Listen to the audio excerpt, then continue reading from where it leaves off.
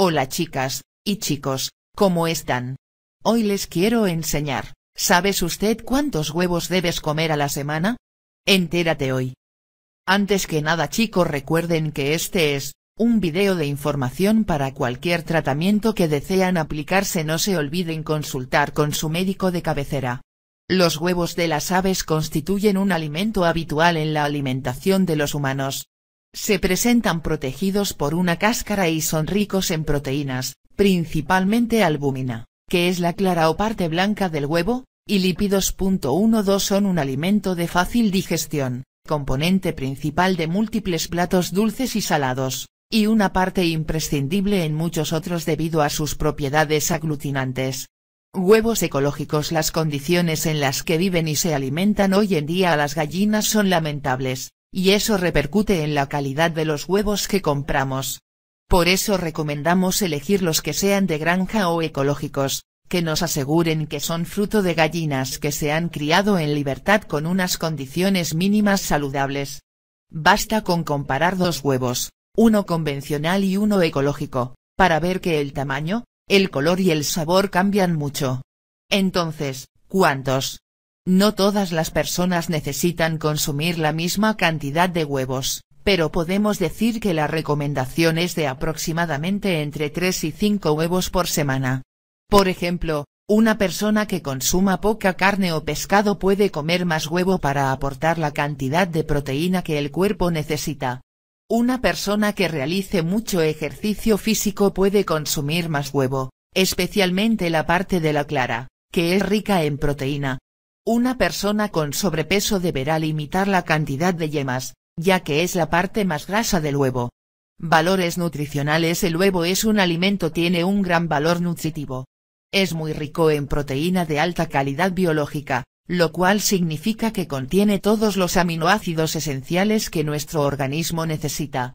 Contiene vitaminas del grupo B, B1, B3, B12, ácido fólico y biotina, A, E y D.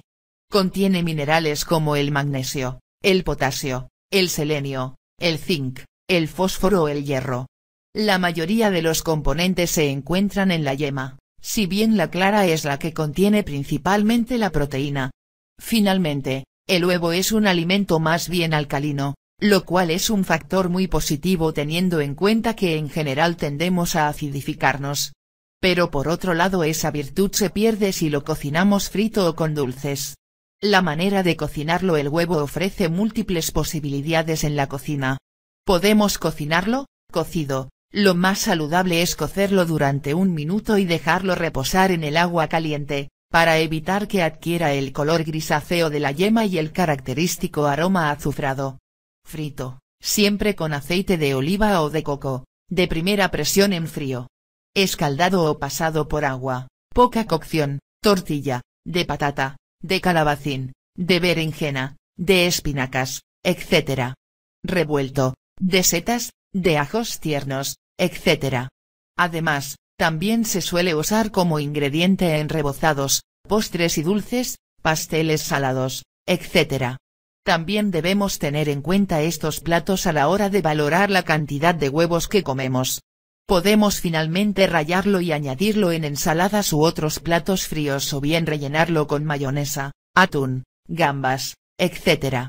Curiosidades La yema del huevo es uno de los pocos alimentos que contiene vitamina D, la cual es imprescindible para asimilar el calcio, y que obtenemos también tomando el sol el huevo contiene nutrientes que ayudan a prevenir la salud ocular, concretamente de cataratas y la degeneración macular gracias a su contenido en selenio y zinc, el huevo nos ayuda también como cosmético, ya que colabora en la formación del tejido de la piel, cabello y uñas, en algunos países los huevos tienen un código numérico escrito en la cáscara que nos permite saber cómo han sido criadas las gallinas.